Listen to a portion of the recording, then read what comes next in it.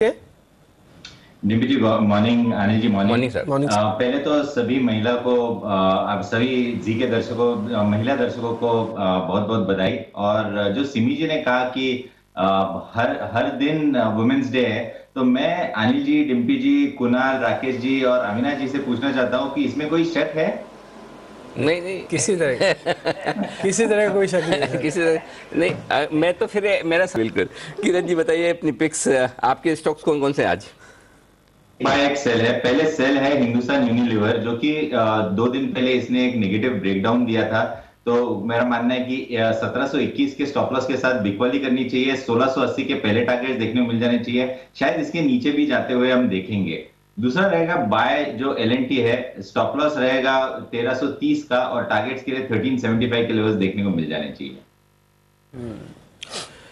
एक तो एचुअल में बिकवाली करनी है 1680 के टारगेट के लिए। एक बार आप स्टॉप लॉस भी नोट कर लें 1721 किरण जी आपका दूसरा शेयर एक बार मेरे को वापस से बता दीजिए उसके जरा लेवल्स भी मैं भूल गया हूँ। एचुअल के अलावा दूसरा शेयर कौन सा है?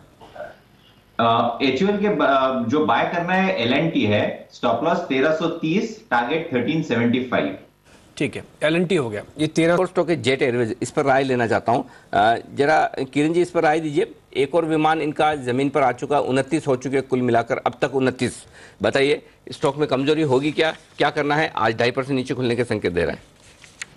अनिल जी ये एक रेंज में ट्रेड कर रहा है। 250 on the higher side 222 220 on the lower side on the higher side है तो मेरा मानना है कि बेच के ही काम करना चाहिए। 250 के ऊपर आपका स्टॉप लॉस होना चाहिए और एक्सपेक्ट कर सकते हैं 222 टू टू 215 के टारगेट्स अगले दो तीन ट्रेडिंग सेशन में देखने को मिल जाने चाहिए। ठीक है। इस बीच एक शेयर और पता कर लेते हैं और टाटा ठीक है। जेट एयरवेज बिल्कुल फ्लैट है। अगर ग्राउंडेड वाली खबर को जरा असर नहीं दिखा रही थी पुल बैक तो नहीं दिखा देगा। एक बार किरण जी, जरा जेट एयरवेज देखिए। दो पे चल रहा है। क्या इंट्राडे ट्रेड के लिए एक बार पोजीशन ले सकते हैं? कोई स्टॉप लॉस नियर बाय का बनता हो? इंट्राडे ट्रेड ही लेना है बस।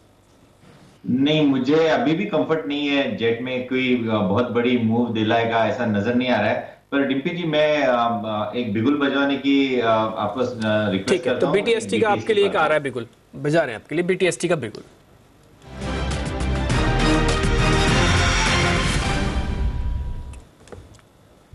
बताए किरण जी।